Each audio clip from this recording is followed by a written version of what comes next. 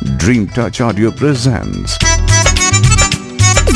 ਡੋੜੇ ਨੂੰ ਤਵੀਤ ਬਣਿਆ ਕੁੜੀ ਨਜ਼ਰਾਂ ਲੱਗਣ ਤੋਂ ਡਰਦੀ ਦੀ ਬੇਸ਼ੁਮਾਰ ਕਾਮਯਾਬੀ ਤੋਂ ਬਾਅਦ ਗੁਰਤਾ ਸ਼ੰਤੂਰੀ ਅਤੇ ਰਵਿੰਦਰ ਰੋਜ਼ੀ ਦੀ ਆਵਾਜ਼ਾਂ 'ਚ ਕਰੀਮਾ।